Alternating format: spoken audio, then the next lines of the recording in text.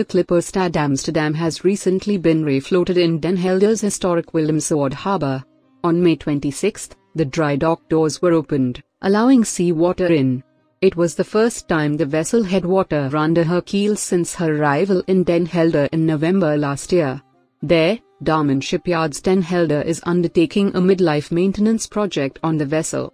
The scope of work undertaken during this time has included replacement of Stad Amsterdam's main engines and diesel generators with a peak shaving battery and a new shore power system as well as the sewage and chilled water system.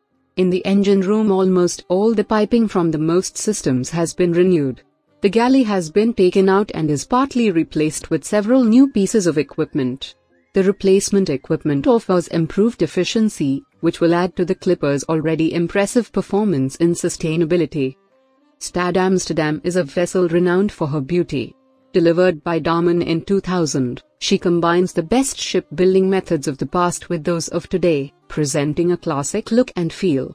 76 meters long, the vessel features 31 sails with a total area of 2,200 square meters.